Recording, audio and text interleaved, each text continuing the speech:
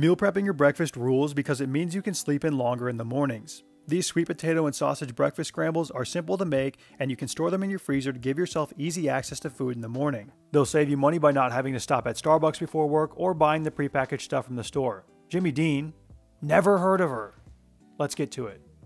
First, we need to make some breakfast sausage. You could just buy this at the store, and they even sell it in pre cooked crumbles in the freezer section. I'm going to make it though for demonstration purposes and a more macro friendly option. Into a large bowl, add 1 pound or 454 grams of 93.7 ground chicken or ground turkey. To season it, add in 1 teaspoon or 6 grams of salt, 1 teaspoon or 3 grams of pepper, 1 teaspoon or 3 grams of onion powder, 1 teaspoon or 3 grams of garlic powder, 1 teaspoon or 3 grams of cayenne pepper, 1 teaspoon or 3 grams of paprika, 1 teaspoon or 1 gram of oregano, 1 teaspoon or 2 grams of ground sage, and 1 tablespoon or 12 grams of brown sugar. If you don't want this to be spicy, just leave out the cayenne pepper. Mix the contents of the bowl together using your hands to evenly distribute those seasonings throughout the meat.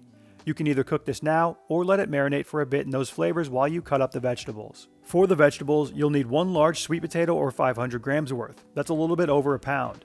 Peel the potato and cut it into a small to medium sized dice. If you'd prefer bigger potato pieces, you could cut them larger, but it will take longer to cook them and may require you to boil or roast them first. Cutting them small allows you to cook them directly in the skillet and ensure they are soft throughout. Next, cut up one medium sized onion or 150 grams worth into a small dice. Then do the same with two medium green bell peppers or 300 grams. Any color of pepper is fine for this step. If you wanted some heat, you could also throw in a jalapeno or serrano pepper. Once your prep work is complete, get to cooking. I would work two burners on your stove to cook the meat and vegetables simultaneously to save time, but I'm going to do it one at a time since I only have this single shitbag induction burner available for the camera to see. Heat a large skillet over medium-high heat and add in 1 tablespoon or 15 grams of oil. Place the meat in the pan and spread it out into an even layer. Don't start breaking it up right away because that will prevent it from developing the browning that we are looking for. Once it has had the chance to be in contact with that hot pan for a few minutes, then you can flip it over to the other side and start breaking it up a bit. When the underside has cooked and colored, you can continue to break it up into smaller pieces with your spatula and then move it onto a plate to set aside until later. For the vegetables, you'll start with the sweet potatoes first. Heat a large skillet over medium high heat and add in 1 tablespoon or 15 grams of oil and toss in your diced sweet potatoes. Give them a chance to brown up a bit on the heat and then drizzle over 1 to 2 tablespoons of water and cover the pan with a lid or whatever you can find in your kitchen that covers the top of your pan. The water will create steam inside and help cook the potatoes faster. If you cut them as small as I did, this could be as quick as a minute or two, so you'll want to check on them fairly quickly to make sure they aren't getting too mushy. When the potatoes are almost ready, you can create some room in the center of that pan and add in another 1 tablespoon or 15 grams of oil, then dump in your onions and peppers. Season everything lightly with salt and pepper. I've got a fan blowing the steam away from the overhead camera, so look at me play the wind like I'm a young Tiger Woods at Carnoustie. Get me on the tour. After the peppers and onions have cooked for a few minutes, mix everything together and then you can add back in the chicken sausage. If there's any water remaining in the pan from cooking the vegetables, allow that to boil off or get rid of it with a spoon before removing the pan from the heat. Get a taste test with a piece of sausage and each of the vegetables on your fork and adjust any flavors as you see fit. Before we plate this one up, we want to make sure that it is completely cooled so that no steam is going to enter the container we store it in. Remove it from the heat and allow it to cool down a bit, and then you can even move it to the fridge to speed up the process. I'm going to get 8 servings from this, so once you're ready to plate, get out 8 of your storage containers. I'm using these 12 ounce glass mason jars.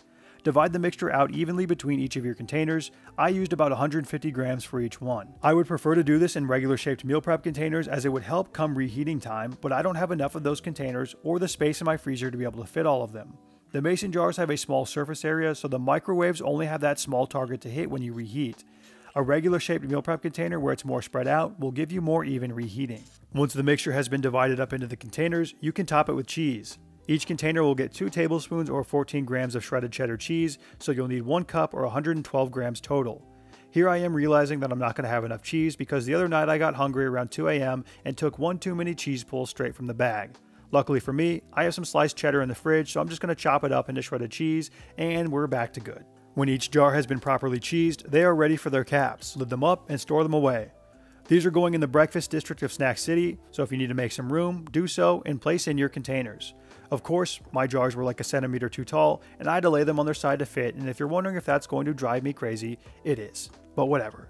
These will last a month or two in the freezer and even longer if you store them in more airtight containers. Now when it comes time to eat, you can pull a container from the freezer and let it warm up a bit on the counter first.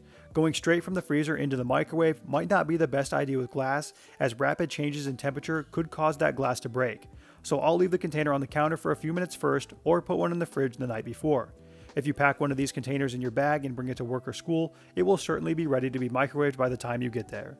First, I microwave it for about 30 to 45 seconds to loosen everything up so it can be stirred. If you have a container with more surface area, this is likely going to be easier to accomplish. Then I crack in one egg to the jar and mix it around to scramble. I know some of you are going to comment, only one egg. Yeah, eggs are currently $564,000 a dozen. That's a $47,000 egg. If you want to play Mr. Moneybags and use two, have at it. I'm also just not a huge breakfast guy, so one egg is plenty for me. Then I return the jar to the microwave for another minute to cook the egg. After that minute is up, stir the contents of the jar to make sure everything is evenly heating, and then return it to the microwave for another 30 seconds to a minute to finish cooking. Cook times may vary depending on the size of your container, and moving the jar around to a different spot of the microwave each time can help as well. If you're not into the idea of microwaved eggs, you could also reheat this in a skillet over the stove and just cook the eggs fresh. Once the egg is cooked, you are ready to eat. Each of these sweet potato and chicken sausage breakfast scrambles has about 330 calories and 22 grams of protein with one egg. With two eggs, you're looking at about 400 calories and 28 grams of protein. Another option would be to use 70 grams of liquid egg whites, which would bring your total down to 261 calories and 17 grams of protein. The full written version of this recipe is on my website, and there's a link to it in the description below. Breakfast is too often overlooked when it comes to meal prep. I'm not a morning person in the slightest, and I hate waking up early. Any time that I could save myself in the morning so that I could sleep in longer is something I'm looking to do. If you work an office job or are a student, these are great to toss in your bag and bring with you to work or school. You can heat them up and eat at your desk or in between classes. So if you hate mornings as much as me and like to sleep in, give these a go.